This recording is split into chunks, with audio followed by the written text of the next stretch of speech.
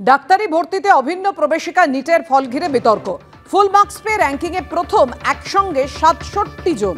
ছজন প্রথম হয়েছেন একই পরীক্ষা কেন্দ্র থেকে। দিল্লি ও কলকাতা হাইকোর্টে জনস্বার্থ মামলা দায়ের হয়েছে। এনটি এর কাছে রিপোর্ট তলব করেছে আদালত। অভিযোগ ঘিরে আন্দোলনে নেমেছে একাধিক ছাত্র সংগঠন। যদিও সব অভিযোগ অস্বীকার করা হয়েছে এনটি এর তরফে। অভিযোগ খতিয়ে দেখতে কমিটি গঠন করা হয়েছে জানিয়েছেন এনটি এর ডিজি সুবোধ কুমার সিং। जो एग्ज़ाम है, इसमें जो इशू आ रहा है, ये सिक्स सेंटर्स और सिक्सटीन हंड्रेड कैंडिडेट्स का आ रहा है। तो एक हमने कमेटी बनाई है। उस कमेटी के, वो कमेटी इनको एक बार फिर से देख लेगी कि जो इनके ग्रीवांसेस थे 1600 कैंडिडेट्स के, उनके भी ग्रीवांसेस ना रहें और जो 23 लैक्स लोगों के मन में हैं कि काफ़ी सारे टॉपर्स आ गए ये आ गए तो इनके भी इशूज वो ना हों तो इस तरीके का निर्णय एक हम लोगों ने लिया है এদিকে অন্দরের কোন্দল প্রকাশ্যে আসার ক্ষেত্রে শাসক শিবিরও পিছিয়ে নেই হাওড়ায় মন্ত্রী বনাম সাংসদের দ্বন্দ্ব নবনির্বাচিত সাংসদ প্রসূন বন্দ্যোপাধ্যায়কে নিশানা করলেন মন্ত্রী মনোজ তিওয়ারি যারা বিরোধিতা করেছেন তাদের সঙ্গে ছবি তুলেছেন প্রসূন বন্দ্যোপাধ্যায় এত পরিশ্রমের পরেও ধন্যবাদ জানিয়ে একটা ফোনও আসেনি আজকের দিনে আমি প্রশ্ন করতে চাই প্রসুনদাকে। প্রসন্দা, আপনি হয়তো ভুলে গেছেন কি যারা যারা আপনাকে চাইছিলেন না প্রার্থী হিসাবে, যারা যারা সাবোটাজ করছিল বছরের পর বছর, আমার সঙ্গে এত কথা হলো আপনার। আজকের দিনে আপনি, আজকে আট তারিখ হতে চলেছে প্রসন্দা, আমি এত দুঃখ পেয়েছি, মন খারাপ হয়েছে। আট তারিখ হতে চলেছে, আপনি ফোন বন্ধ রেখেছেন। আপনার পক্ষ থেকে কেউ আমায় ফোন করে বলেনি বা আমাদের কর্মীদেরকে কেউ ফোন করে বলা হয়নি কি ধন্যবাদ বা অভিনন্দন জানাওনি কি আমরা যেভাবে রেজাল্ট করাতে পেরেছি তার জন্য কোনো অ্যাপ্রিসিয়েশন পাইনি। কেন পাইনি আমি নিজেই জানি না, এটা আমি মানে বুঝে উঠতে পারছি না কেন। বাট আজকে দেখলাম আট তারিখ হচ্ছে, একটাও ফোন নেই, কিন্তু আজকে দেখতে পাচ্ছি অনেক কটা ছবি। যারা বিরোধিতা করেছে, আপনার বিরোধিতা করতো, যারা বিধায়কের মনোজ তিওয়ারি শিবপুরে বিরোধিতা করে যাচ্ছে দিনের পর দিন, রাতের পর রাত।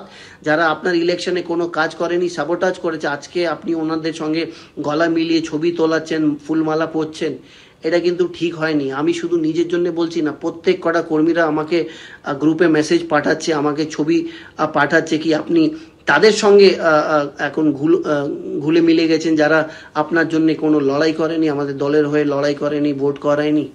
এটা ঠিক করলে না দাদা, আপনি যতটা সম্মান আপনাকে করতাম, এই সম্মানটা আর হয়তো অতটা আমি করতে পারব না। এদিকে চৌঠা জুন লোকসভা ভোটের ফল প্রকাশের পর আজ কালীঘাটে নবনির্বাচিত সাংসদদের নিয়ে বৈঠক করবেন তৃণমূল নেত্রী। কালীঘাটে নিজের বাড়িতে দলের নবনির্বাচিত সাংসদ প্রথম সারির নেতৃত্ব জেলা সভাপতি এবং জেলা কোঅর্ডিনেটরদের নিয়ে আজ বৈঠক করবেন তৃণমূল নেত্রী মমতা বন্দ্যোপাধ্যায়। সূত্রের খবর, বৈঠকে লোকসভায় তৃণমূলের সংসদীয় দলের নেতা এবং মুখ্য সচেতক কারা হবেন তা নিয়েই চূড়ান্ত সিদ্ধান্ত নেওয়া হতে পারে। কালীঘাটে। আর কিছুক্ষণের মধ্যেই তৃণমূল নেত্রীর এই বৈঠক শুরু হবে। নবনির্বাচিত সাংসদদের নিয়ে আজ বৈঠকে বসতে চলেছেন তৃণমূল নেত্রী। এই বৈঠকে ডাকা হয়েছে জেলা সভাপতি এবং জেলা কোঅর্ডিনেটরদেরও। এই এই খবরে বিস্তারিত জানতে সরাসরি কথা বলে নেব। আমাদের সঙ্গে রয়েছেন প্রতিনিধি আশাবুল হোসেন। আশাবুল, এই বৈঠক কখন শুরু হবে কি জানতে পারছ? ইতিমধ্যে কারা কারা উপস্থিত হয়েছে দেখো মাধুরী আজকে চারটের সময় বৈঠক শুরু হবে এবং আমরা দেখতে পাচ্ছি যে ধীরে ধীরে নেতারা এবং সাংসদরা তারা কালীঘাটে আসছেন। এবং আজকের যে বৈঠক সেই বৈঠকে নবনির্বাচিত সাংসদরা থাকবেন রাজ্যসভার সাংসদরা থাকবেন পাশাপাশি জেলা সভাপতি জেলা কোঅর্ডিনেটর এবং তৃণমূলের প্রথম সারির নেতৃবৃন্দ তারা উপস্থিত থাকবেন। দুটো বিষয়ে আজকের এই যে নির্বাচন আহ, পরিস্থিতির যে পর্যালোচনা তাকে দুটো ভাগে ভাগ করা যেতে পারে। প্রথমত নবনির্বাচিত যে সাংসদ, তাদের সঙ্গে সৌজন্য বিনিময় করবেন মমতা বন্দ্যোপাধ্যায়।